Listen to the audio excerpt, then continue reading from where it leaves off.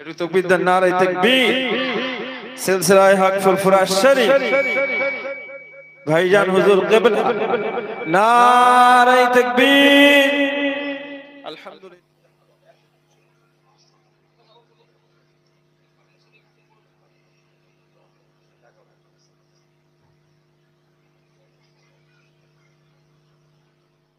আপনাদের খুব পরিচিত এবং কাছের মানুষ মহাব্বতের মানুষ। ভালোবাসার মানুষ।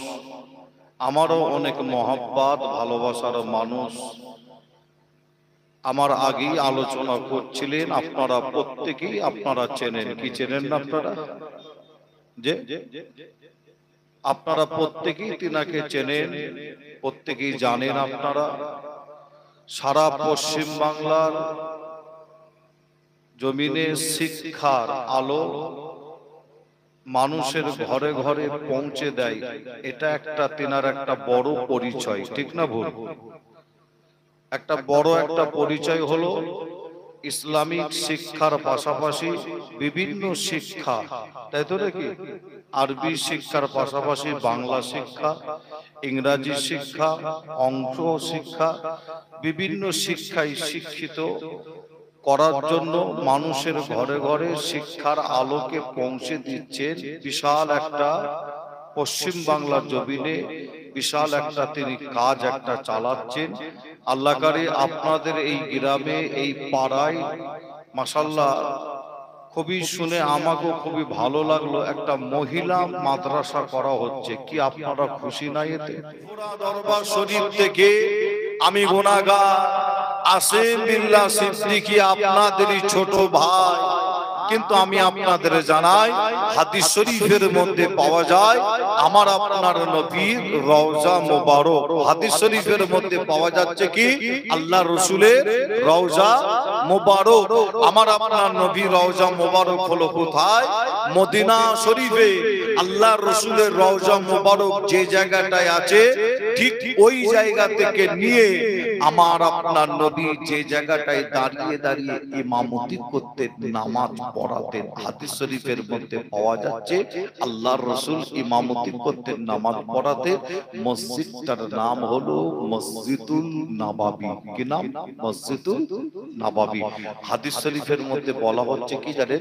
নবী আমার যে জায়গাটায় দাঁড়িয়ে ইমামতি করতে, ঠিক ওই জায়গা থেকে দিয়ে আল্লাহ রসুলের রওজা মোবারক পর্যন্ত মাঝখানে যতটুকুন জায়গা আছে, বলা হচ্ছে ওই জায়গাটা দুনিয়ার একটা জান্নাতের টুকরা। জোরে বলো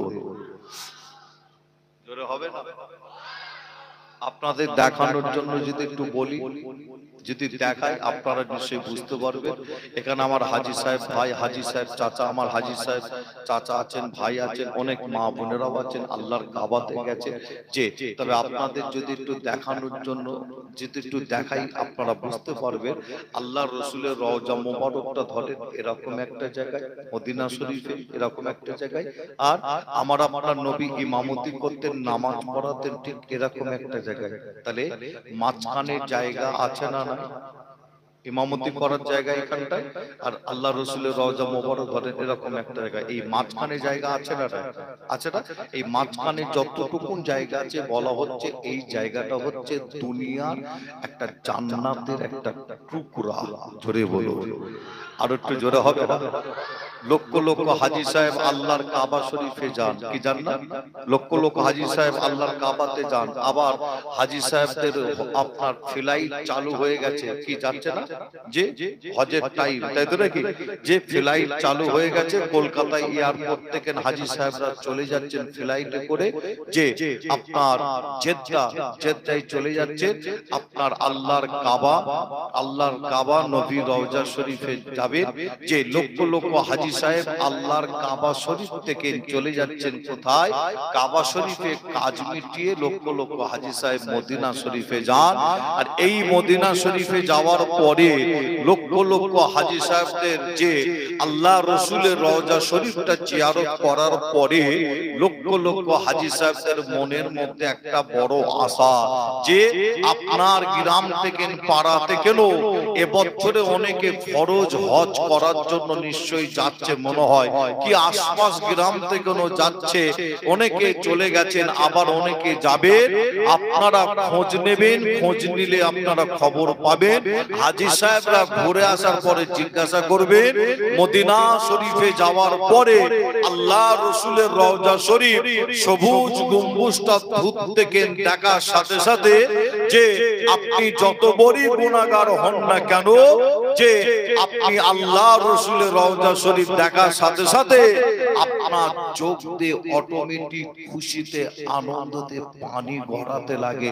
আল্লাহ রসুলের রওজা শরীফের সবুজ গম্বুজটা ধূপ থেকে দেখার সাথে সাথে না, আপনার যে আপনার মনটা ভরে যায়, জোরে বলুন, সুবহানাল্লাহ। আর একটু জোরে হবে না? যে আর সেই হাজি সাহেবরা আল্লাহ রসুলের রওজা শরীফ জিয়ারত করার পরে হাজি সাহেবরা যে মদিনা শরীফে ঘুরতে ফিরতে, থাকতে, যে ঘুরতে, ফিরতে, এই থাকতে, ঘুরতে, ফিরতে হাজি সাহেবদের মনের মধ্যে একটা বড় আশা, বড় ইচ্ছা হচ্ছে হাজি সাহেবরা মদিনা নামাজ পড়ছে, জিয়ারত করছে, আবার মদিনা আপনার খাওয়া দাওয়া করছে, ঘুরতে, ফিরতে একটা বড় আশা। কি আশা? যে বড় আশা প্রত্যেকের মনের মধ্যে আশাটা হলো ওই জান্নাতের টুকুরার ভেতরে ঢুকে গিয়ে আমি কি দুরিকাত নামাজ আদায় করতে পারব না। নামাজ কি পড়তে পারব না? তবে আপনাদের বলে যায় অনেকের নসিবে কপালে তকদিরে হয় ওর ভেতরে গিয়ে নামাজ পড়া আবার অনেকের কপালে তকদিরে হয় না। আপনি যদি ওর ভেতরে গিয়ে নামাজ পড়ে মনে রাখবেন আপনি কিন্তু জান্নাতের ভেতরেই নামাজ পড়ছেন জোরে বলুন। আর একটু জোরে হবে?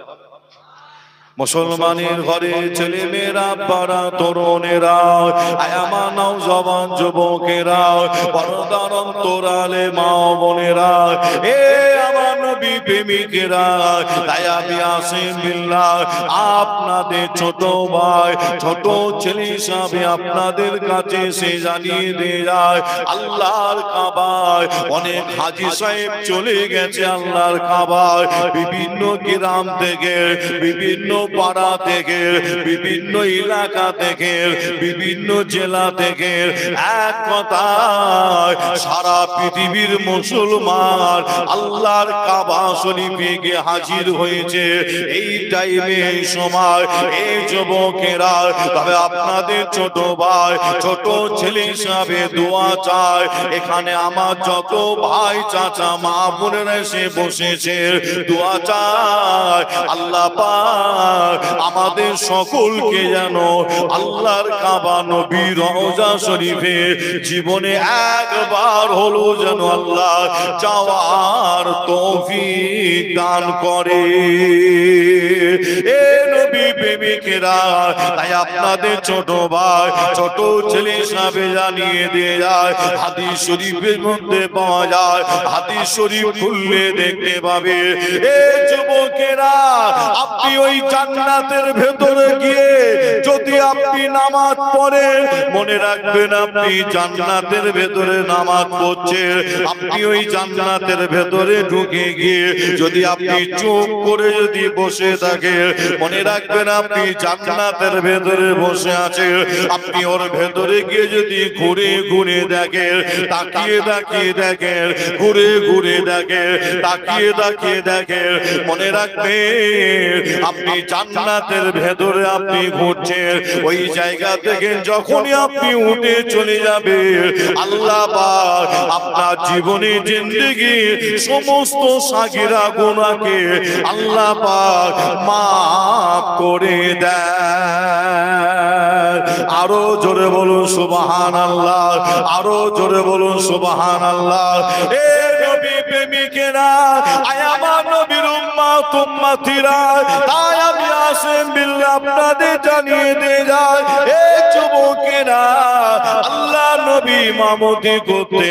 আমার আপনার নবী নামাজ পড়াতে মসজিদটার নাম আপনাদের কাছে বলেছি, নামটা হলো মসজিদুল নাবাবি।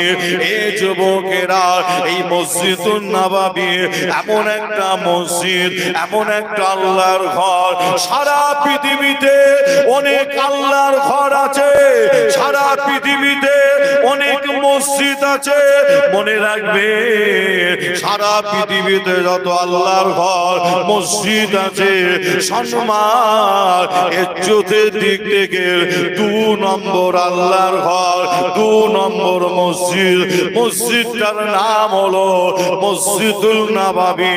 ওই মসজিদটার ভেতরে গিয়ে যদি আপনি এক রিকাত আল্লাহর নামাজ যদি আদায় করে এই এক পড়ার শিলায় আল্লাহ আপনার আমল আল্লাহ পঞ্চাশ হাজার লিখে দেয় আরও জোরে বলুন সুবাহান আল্লাহ আরও জোরে বলুন সুবাহান আল্লাহ এ নবী প্রেমিকেরা আয়ামা নবীর সারা পৃথিবীতে আল্লাহর ঘর, মসজিদ আছে, মনে রাখবেন সম্মানের জ্যোতি দিক থেকে এক নম্বর আল্লাহর ঘর, এক নম্বর মসজিদ।